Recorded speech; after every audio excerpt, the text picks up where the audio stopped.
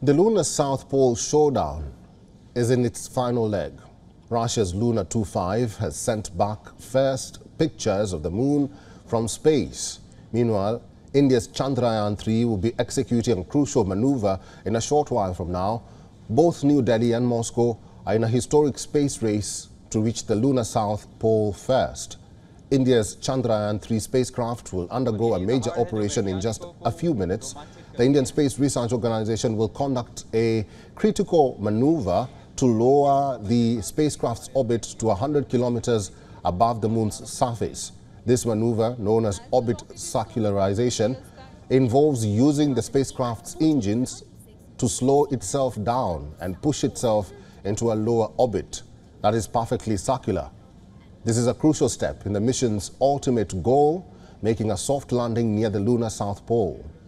In exactly a week from now, on the morning of August 23rd, Chandrayaan 3 is expected to attempt a soft landing on the lunar South Pole, a region believed to hold potential for new scientific discoveries. If successful, India will become the fourth nation to achieve a soft landing on the moon, following Russia, the United States and China.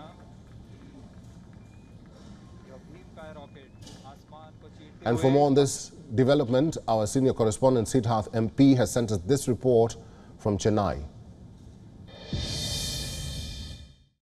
India's Chandrayaan 3 spacecraft has completed what is known as its orbit circularization maneuver this morning. The circularization maneuver is one where the spacecraft fires its engines. It's in fact called a retro firing, where the engines are fired in an opposite direction to ensure that the spacecraft slows down. Thereafter, the spacecraft actually comes into a lower orbit which is closer to the moon. So what the spacecraft has now performed is effectively its final orbit circularization maneuver as an integrated spacecraft. What we're trying to tell you is that Chandrayaan 3 is a 3.9 ton spacecraft comprising a propulsion module and a landing module. So together the module now is in a 153 kilometer by 163 kilometer near circular orbit.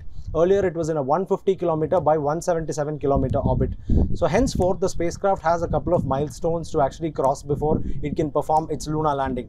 The next major milestone is scheduled for the 17th of August when the spacecraft breaks away into two parts. One will be the propulsion module, the module which steered the spacecraft all the way from Earth orbit to entering lunar orbit until this very moment. So then the propulsion module will separate and the propulsion module will continue to orbit the moon whereas the lander module or rather Vikram lander of the spacecraft will separate into another portion and Vikram lander will head towards the moon's surface in preparation for the lunar landing. As this happens, there will also be crucial tests conducted of Chandrayaan 3's various systems. This includes some of the lander's sensors and also the four engines on the lander which will aid it in the lunar landing. The next milestone we can expect is the separation of the propulsion module and lander on Thursday, August 17th. And of course, thereafter the crucial preparations for August 23 lunar landing as well will start. From Chennai, Siddharth MP, WION, World is One. WION is now available in your country. Download the app now and get all the news on the move.